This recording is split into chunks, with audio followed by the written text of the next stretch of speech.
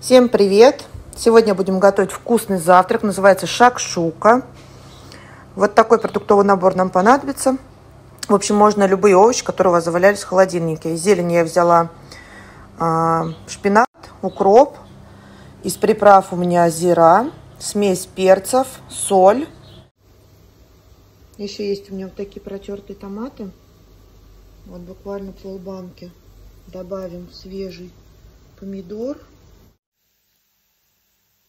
Овощи у нас обжарились, мы добавляем томаты, все специи, перчим. Вот мы залили все томатами и даем теперь минут 10, можно 8, всему этому потушиться. Когда лишняя жидкость у нас выпарилась, мы делаем вот так лун. Ой, блин, захотела как все. И вливаем туда яичко.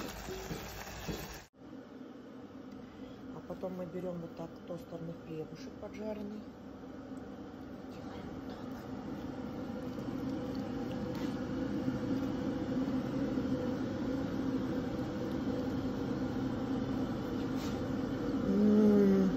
Это просто нечто.